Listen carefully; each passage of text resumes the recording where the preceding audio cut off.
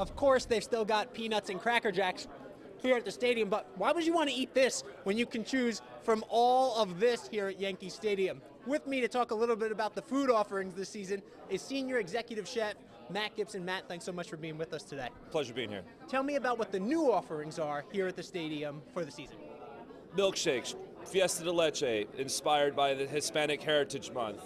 Lobel's been here for, for 11 years. Let's embrace it even more. Bareburger, vegetarian, vegan, gluten free, awesome stuff.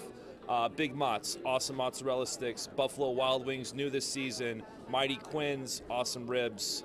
Some Legends internal stuff, loaded top fries, pastrami fries, Reuben fries. I mean, I could keep going. Okay, so there's a smorgasbord here. Now you understand why this jacket isn't buttoned. It buttoned when we got it here, did. but we've tried some of this food, and so we had to uh, unbutton the button.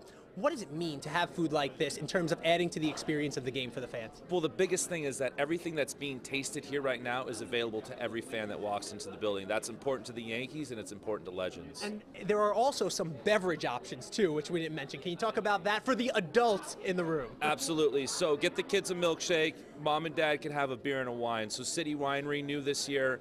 Awesome, great wine selection that's available in our 105 stand on tap. Delicious stuff. And the Pinstripe Pilsner started it uh, last year. Now it's available throughout the stadium, both in cans and draft, and it's a stadium exclusive. And if you have any room left, we did talk about it before, but this is the Tres Leches milkshake.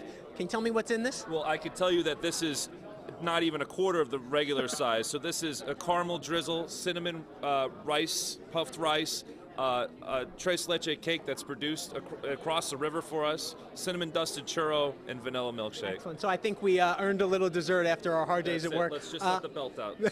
I'm going to enjoy this. Send it back to you guys in the studio. That's a good. That's a good assignment, right? That's a fantastic assignment. But we did hear something. We heard the Bareburger there, and there is a plant-based burger, and Yes. we, we ordered from there one night. Remember? Uh, oh, oh, you- oh, you're going to tell this? I'm gonna, I thought you were telling the story the mark. I didn't realize you were going no, to tell I'm it gonna on tell TV. the story real okay. fast. So we ordered from there. Yep. We got the burgers mixed up.